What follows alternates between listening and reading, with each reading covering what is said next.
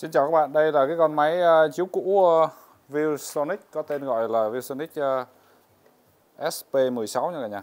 SP16 con này nó sử dụng cái công nghệ uh, DLP của hãng ViewSonic.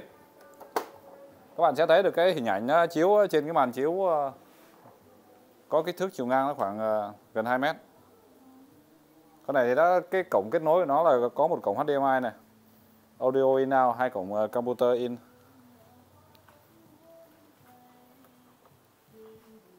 Đây là cái menu của máy nha các bạn.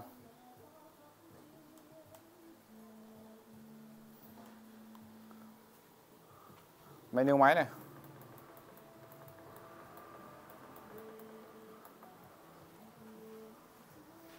Mở karaoke. Tôi đang kết nối với một cái Android box của VNPC và cho các bạn thấy được cái à, sự tiện lợi khi mà chúng ta kết hợp một cái Android Box với một cái máy chiếu. Nó nhói như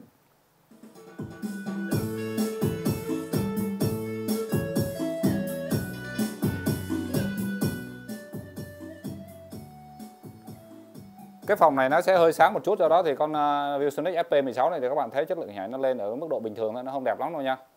Còn là là máy chú cũ thì giá thành à, chất lượng tương đương cái này thì nó tầm cỡ khoảng hơn 3 triệu một chút nha các bạn. Hơn 3 triệu một chút là có tặng kèm luôn màn chiếu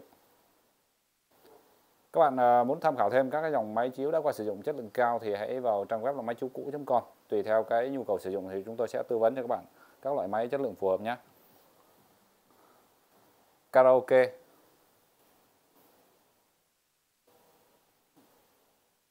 Đây, tôi sẽ kết nối và hiện tại là tôi kết nối với một cái Android box và kết nối với loa Bluetooth.